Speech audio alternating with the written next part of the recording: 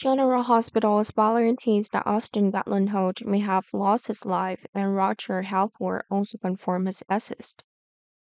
But since Austin was attacked, there has been no detailed footage of who attacked Austin.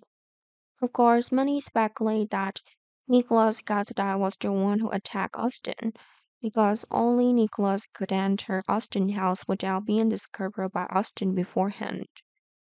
Fans know that Austin previously saved Nikolas' life and let Nikolas stay in Austin house. So, Nikolas got a key to Austin House and of course coming and going from Austin House was normal. The clue that fans saw was just a dress shoe. Of course, Nikolas could also wear dress shoes to distract investigators. In addition, Austin's expression before being attacked was a bit surprising, but it's what clear that Austin knew who the person standing in front of Austin was. That's why Austin didn't scream or run away right after that. This was an acquaintance of Austin, even very familiar. Cyrus Renault is definitely suspected by Sonny Corinthos and Ava Jerome. They think Cyrus attacked Austin, which of course greatly affected Sonny's and Ava. First, Sonny and Ava know Cyrus is behind Austin and Mason Gatlin.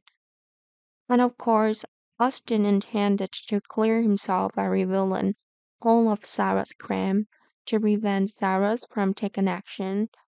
It is true that Cyrus had a motive to murder Austin, but Cyrus had an alibi for the time being. That's when Cyrus was running around town looking for Laura Collins and told Laura that Cyrus had to find a serious job Port Charles Grill is where Cyrus is working. Sonny won't believe that Cyrus say until it's confirmed. That's why Sonny had a confrontation with Cyrus and vowed to kill Cyrus if Cyrus hurt someone Sonny cared about. Later, Sonny and Ava will also suspect Mason. However, Mason has been transferred to Pentonville with the supervision of many police. That means neither Cyrus nor Masons are the culprits. Sonny and Ava would have to think of someone more likely. However, the two of them would never think that Nikolas was an assassin, which was true because they thought that Nikolas would not dare return to town at this time. They only know that Nikolas is in Europe to avoid police pursuit. Nikolas sees Austin as his benefactor, and even Mason is the one who saved Nikolas. But with the Gatlin brothers having conflicts, they try to hurt each other. Even Austin once intended to kill Mason with a pillow. Mason promptly told Nikolas that Austin slept with Ava while Nikolas was unconscious. Hatred can blind Nikolas, and Nikolas is ready to take down the Mason who once saved Nikolas' life.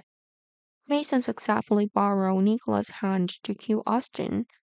Accidentally, this also helps Cyrus, because Austin has been silent forever and no one will be able to tell about Austin crime.